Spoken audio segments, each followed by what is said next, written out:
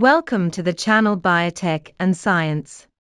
Let's talk about ribosomes. Definition Ribosomes are cellular structures responsible for protein synthesis, functioning as the machinery that translates genetic instructions from RNA into proteins. These tiny organelles, found either floating freely in the cytoplasm or attached to the endoplasmic reticulum, consist of two subunits small and large that come together during protein synthesis. Key points about ribosomes 1. Protein synthesis. They read messenger RNA, mRNA, transcripts and translate the genetic code carried by mRNA into specific sequences of amino acids, forming proteins. 2. Two subunits. Ribosomes are composed of a small and a large subunit, each with their specific roles, during translation. The small subunit reads the mRNA, while the large subunit joins amino acids to form a polypeptide chain. 3. Location. They can be found in two main cellular locations, free-floating in the cytoplasm or attached to the rough endoplasmic reticulum, ER.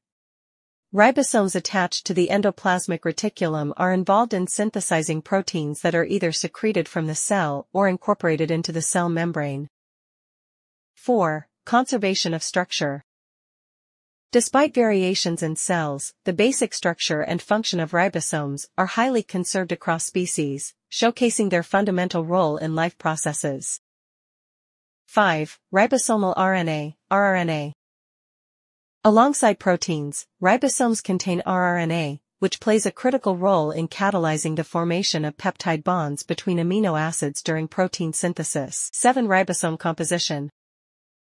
Ribosomes are made up of two major components, ribosomal RNA, rRNA, and proteins. The small and large subunits consist of a combination of ribosomal RNA molecules and various ribosomal proteins. 8. Assembly Ribosomes are assembled in the nucleolus, a distinct region within the cell's nucleus. The assembly involves the synthesis of rRNA, which combines with ribosomal proteins to form the small and large subunits. 9. Three stages of translation. Translation, the process carried out by ribosomes, occurs in three main stages, initiation, elongation, and termination. Each stage involves specific interactions between mRNA, transfer RNA, tRNA, ribosomal subunits, and amino acids to build the protein chain. 10 types of ribosomes.